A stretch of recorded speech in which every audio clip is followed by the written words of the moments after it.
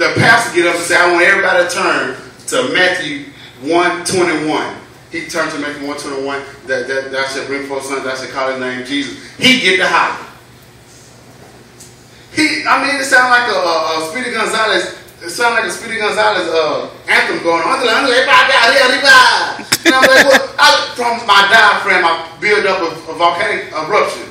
I looked at him. I said, "What did you hollering for?" he said, "Your pastor in school, man." He says that should bring forth the son. His name gonna be Jesus Holmes. it's a lady right across the street having a baby right now, Holmes. It's my media.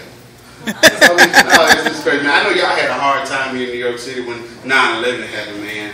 Uh, I know it was a bad time. Have you ever thought about what if some of the celebrities of the day had to be interviewed at September 11th? What if Bernie Mac had to be interviewed at September 11th? I think it would have went like this. This is a tragic day. The people of Deerfield, those that lost loved ones in New York City. I am reporter Kirk Elias Channel 16 News. I'm sharing here with a few guys witnesses. But first, we're going to ask Mr. Bernie Mac. Mr. Bernie Mac, what goes through your mind on this tragic day? Let me tell you something. I mean, you know what I'm saying?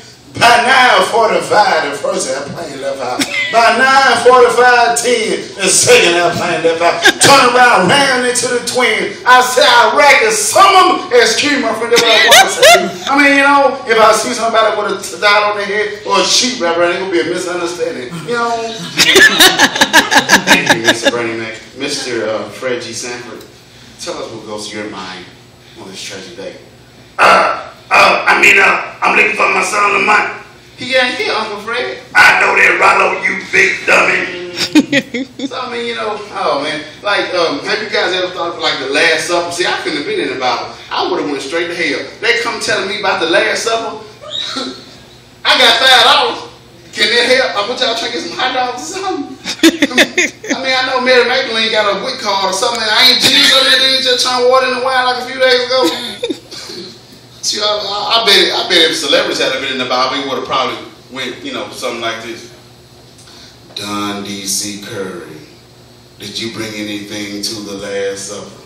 Yep, brown something, brown something chicken. Didn't have no grease, but I still brought the chicken. Thought about bringing some fish. Didn't have no meal, but I still brought the fish. Thought about bringing some Kool-Aid. Didn't have no sugar, so I left the Kool-Aid at the hot. Don D.C. Curry.